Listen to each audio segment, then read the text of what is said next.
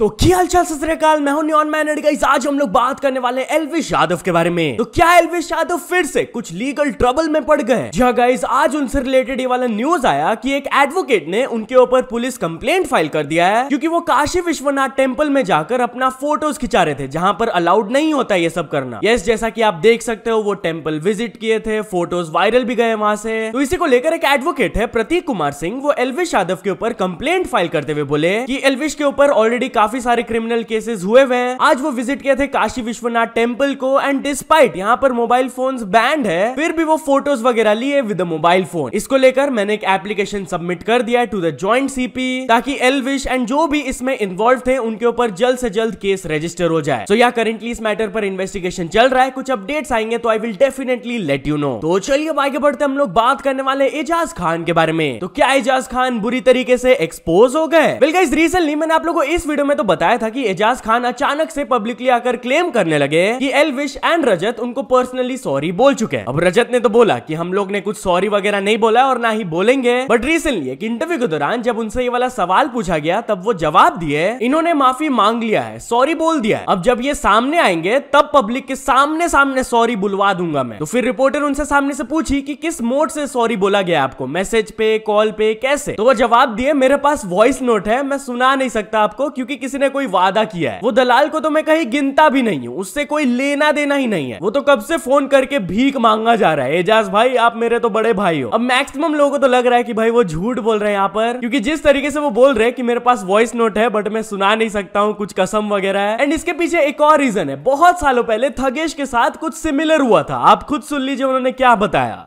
भाई ये एजाज खान को क्या ऑब्सेशन है सॉरी से? ये ज़बरदस्ती लोगों को पकड़ के सॉरी बुलवाता है। और अगर जिसे सॉरी नहीं बोला झूठा आके बोल देता है कि मेरे को सॉरी बोला। अजय दलाल ने तो माफ़ी मांग ली है। उसने भी सॉरी बोला है। बोले एजाज भाई तुम मेरे बड़े भाई हो। या बीस से नहीं चल रहा है सब 2020 से चल रहा है। पहली बार मेरे बारे में बोला था सबसे पहला 2020 में। ठगेश के लिए था जो रमज़ान के बारे में गलत बोला था उसने सॉरी का वीडियो डाल दिया। भाई जबकि किसी ने इसको सॉरी कभी नहीं हुई बट यार टॉकिंग अबाउट एजाज खान तो उन्होंने पूरव झा की मदर को सॉरी बोला। यस yes, गाइस आप लोगों को पता ही होगा पूरव झा उनके ऊपर पैरिडी बनाए थे एजाज खान काफ़ी ज़्यादा गुस्सा हो गए थे एंड वो बहुत ज़्यादा पर्सनल चल गए थे उनकी मदर के बारे में बहुत गलत सलत बोल दिए थे। तो इसी चीज़ को लेकर जब उनसे इंटरव्यू में सवाल पूछा गया तब वो जवाब दिए ये पूरव झा को तो क्या ही बोलूँ? मैं तेरी मम्मी को सॉरी बोलता हूँ। मैं कभी ये सब नहीं किया लेकिन तुम लोग ना मेरे अंदर का शैतान जगा दिए। इतना प्रोवोक मत करो रे इतना इंस्टिगेट मत करो बेटा की शूटिंग वूटिंग छोड़ के दिल्ली आना पड़े। अब वो यहाँ पर सॉरी बोल रहे हैं या फिर थ्रेटन कर रहे हैं नो वन नोस बट यार टॉकिंग अबाउट पूरव झा तो वो एक यूट्यूबर को बहुत ज़्यादा अप्रिशिएट किए एंड साथ ही साथ थोड़ा सा वो एजाज खान को भी शायद से पोक कर दिए. बेसिकली तीन दिन पहले प्रखर के चैनल में उनका पॉडकास्ट आया था एंड पॉडकास्ट के एक सेगमेंट में उनके पैरिडी के बारे में जब बातचीत चल रहा था, तब उनसे सवाल पूछा गया था कि जिन लोगों के आप पैरिडीज बनाते हो तो वो कैसे वे में लेते हैं? अच्छे वे में या बुरे वे में? तो पूरव झा वहाँ पर नितेश सोनी, एक फिटनेस इन्फ्लुएंसर है, उनका एग्ज़ाम्पल देते हुए बोले कि इन्होंने बहुत अच्छे तरीके से पैरिडी को लिया था वो मैसेज भी किए थे आप खुद सुन लीजिए। किया था फिटनेस इन्फ्लुएंसर का स्पूफ किया था। तो नितेश सर है उनका आया था उनका एक्ट किया था मैंने उनका आया था कि भाई बहुत बढ़िया हंसाते हो बहुत बढ़िया करते रहो ऐसी। तुम दुनिया को हंसाते हो बहुत बड़ा टास्क है बहुत बढ़िया करते रहो कोई दिक्कत हो मेरी जनता की तरफ़ से कोई अगर तुम्हें पोक करे कुछ गाली दे तो मेरे को बताना मैं उनको टाइट करूँगा। तो मतलब उस अच्छा बहुत हाँ। बहुत फ्रेंडली लिया यार तो मेरे को बहुत सही लगी वो चीज़। तो इसी क्लिप को शेयर करते हुए नितेश सोनी कहे कि ऑलवेज सपोर्ट यू भाई एंड वर्कआउट भी साथ में सुन जिस पर रिप्लाई देते हुए पूरब झा कहे लोगों को आपसे बहुत कुछ सीखना चाहिए। तो शायद से यहाँ पर वो एजाज खान को भी बोल दिया कि भाई हेल्दी वे में पैरडी को लेना सीखो। बट एनी चलिए आगे बढ़ते हम लोग बात करने वाले मुनावर फारूकी एंड अदनान ज़ीरो के बारे में। तो मुनावर फारूकी एंड अदनान ज़ीरो के बीच में एक लफड़ा स्टार्ट हो गया। बेसिकली हुआ क्या कि मुनावर एक ट्विटर स्पेस में ज्वाइन किए थे एंड वहाँ पर जब अदनान ज़ीरो का टॉपिक उठा था, तब वो अपना ओपिनियन शेयर करते हुए बोल रहे थे कि अदनान ज़ीरो जब घर में घुसने वाले थे, वो पूरा जोश जोश में आकर बोल रहे थे, मैं ये कर दूँगा, वो कर दूँगा, बहुत कुछ कर दूँगा। एंड उनके फैंस लोग एक्साइटेड भी हो गए थे, पूरा हाइप कर दिए थे अदनान को। बट अंदर जाके भाई पूरा फुस हो गए वो, उनका परफॉर्मेंस कुछ भी खास नहीं रहा। वो खाली चार ही दिन रहे एंड उनको घर से एविक्ट कर दिया गया। तो इसी को लेकर थोड़ा सा उन्होंने क्रिटिसाइज किया था। इसके बाद क्या हुआ कि ये क्लिप शायद से अदनान एंड उनके ब्रदर के पास पहुँच गया। तो अदनान ने उनके भाई के तरफ़ से एक पोस्ट को शेयर किया, जहाँ पर यह लिखा हुआ था रियलिटी शो में रियल कुछ नहीं है। ये तभी समझ में आ गया था जब मुनावर और एलविश जैसे लोग ट्रॉफी ले गए। फिर एक और पोस्ट उन्होंने दिखाया, जब कॉमेडियन रैप करने की कोशिश कर सकता है तो रैपर कॉमेडी करने की कोशिश क्यों नहीं कर सकता है? जिसके बाद अदनान के मुनावर वो ट्विटर स्पेस क्लिप को शेयर करते हुए अपने ब्रॉडकास्ट चैनल में ये वॉइस मैसेज भी दिए। चलती ट्रेन में नहीं चलने का भाई। चलती ट्रेन में चढ़ेंगे ना कभी कभी मुँह के बल गिरते। नहीं है कूदा तो बीच में काय के लिए कूदा।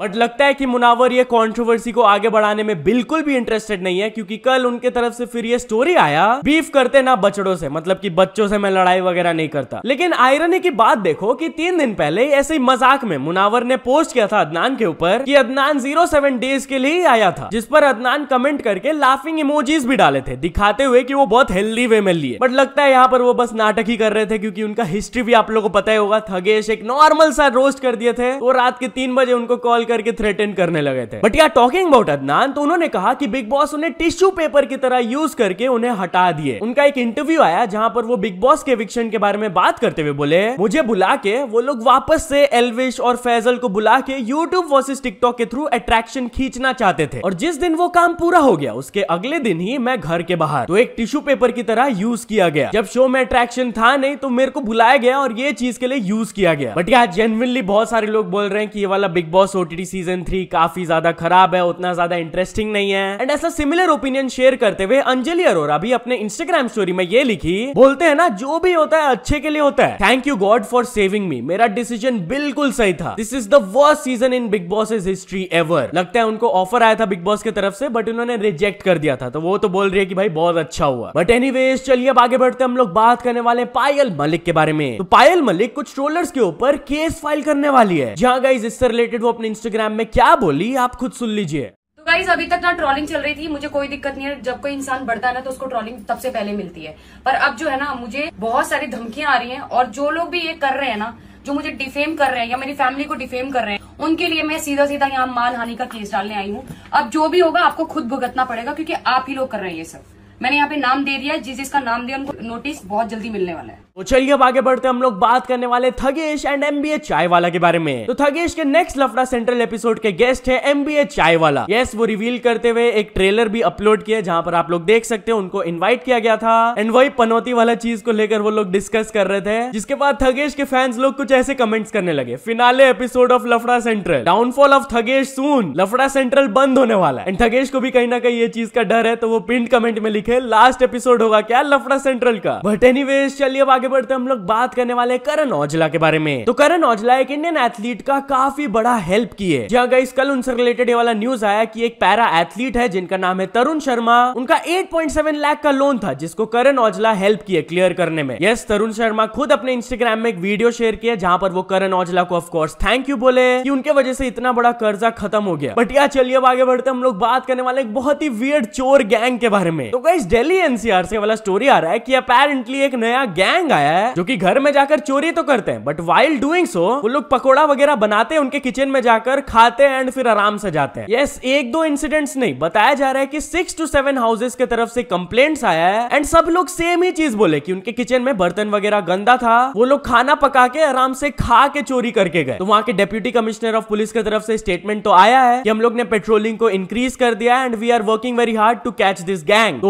चलिए अब आगे बढ़ते हम लोग बात करने वाले एक न्यू अनएक्सपेक्टेड रूल के बारे में। तो गाइस केरला से वाला स्टोरी आ रहा है कि अब वहाँ के मोटर व्हीकल डिपार्टमेंट ने अनाउंस कर दिया है कि अगर तो बाइक में दो लोग ट्रैवल कर रहे हैं एंड वो लोग दोनों बातचीत कर रहे हैं then they can get fine yes वहाँ के मोटर व्हीकल डिपार्टमेंट ने बोला कि हम लोग ने ऐसा मेजर इसलिए लिया है क्योंकि अगर तो राइडर पिलियन राइडर के साथ बात कर रहा होता है बाइक में तो वो लोग डिस्ट्रैक्ट हो सकते हैं। एंड हो सकता है कि इसके वजह से एक्सीडेंट वगैरह हो जाए। इसीलिए इसको पनिशेबल बना दिया गया। तो जो भी बात करते हुए पकड़ा जाएगा, उनको फाइन भरना होगा। तो चलिए आगे बढ़ते हम लोग बात करने वाले गूगल वर्सेज ओपन एआई के बारे में। तो गूगल को कंपीट करने के लिए ओपन एआई अपना सर्च इंजन को लॉन्च करने वाले हैं। जहाँ गाइस कल उन्होंने अनाउंस करके बता दिया कि वो अपनी तरफ़ से एक सर्च इंजन को लॉन्च करने वाले जिसका नाम है सर्च जीपीटी एक उन्होंने एग्ज़ाम्पल एंड इलस्ट्रेशन भी पोस्ट किया, जैसा कि आप देख सकते हो कैसा होगा इसका यूज़र इंटरफेस काफ़ी स्मूथ एंड बढ़िया लग रहा है एंड बहुत सारे लोगों को लग रहा है कि अब गूगल को फाइनली एक अच्छा कॉम्पिटिटर मिला। बाकी आपको क्या लगता है, क्या ये गूगल से कम्पीट कर पाएँगे? मेरे को कमेंट्स में ज़रूर बताना। तो या तो चलिए अब कुछ अचीवमेंट्स के बारे में बात करते हैं। तो first of all rewind stars ने कंप्लीट कर चुके हैं के subscribers then Rajat Pawar vlogs ने भी कंप्लीट कर चुके हैं के subscribers then yo yo Honey Singh ने कंप्लीट कर चुके हैं seven million subscribers and finally Shemaroo Filmi Gaane ने कंप्लीट कर चुके हैं सिक्सटी नाइन मिलियन सब्सक्राइबर्स तो many many congratulation to all of them तो चलिए अब कुछ इंटरनेशनल स्टोरीज के बारे में बात करते हैं। तो फ़र्स्ट ऑफ़ ऑल हम लोग बात करने वाले Elon Musk versus Mark Zuckerberg के बारे में। तो मार्क जकबर्ग इलॉन मस्क के फाइट स्टेटमेंट के बारे में बात की है। यस गाइस लास्ट वीडियो में मैंने आप लोगों को दिखाया था कि कैसे इलॉन मस्क मार्क जकबर्ग से फाइट करने के बारे में एक स्टेटमेंट दिए थे कि मैं मार्क को लड़ने के लिए तैयार हूँ any place any time any rules तो ये वाला स्टेटमेंट जब मार्क जकबर्ग तक पहुँचा, तब वो थ्रेड्स में ये पोस्ट किए are we really doing this again basically saying कि भाई ये सेम एपिसोड बहुत पहले हो गया था एंड फाइट हो नहीं पाया तो फिर से ये सब पंचायती स्टार्ट करना है क्या? बट यार चलिए फाइनल स्टोरी के बारे में बात करते हम लोग बात करने वाले स्पीड के बारे में। तो स्पीड एक बहुत ही डेंजरस स्टंट की है यस गाइस उनसे रिलेटेड एक क्लिप वायरल जा रहा है। जो कि यहाँ पर मैं प्ले नहीं कर सकता हूँ। जैसा कि आप देख सकते हैं, उनके फादर लैम्बोर्गिनी चला रहे थे एंड ये धीरे स्पीड में नहीं है। काफ़ी स्पीड में जा रहा है गाड़ी, और वो परफेक्ट टाइमिंग लेकर जंप किए तो वही ही jump over a car and ये चीज़ उनको भी स्केरी लगा। बट लोग वही बोल रहे हैं कि भाई, इतना डेंजरस स्टंट करने का ज़रूरी नहीं है। बाकी चल दोस्तों, आज की वीडियो के लिए बस इतना ही। अगर आपको वीडियो थोड़ा सा भी पसंद आया हो तो लाइक कर देना। चैनल को भी तक सब्सक्राइब नहीं किए हो तो जल्दी से जल्दी सब्सक्राइब भी कर लेना।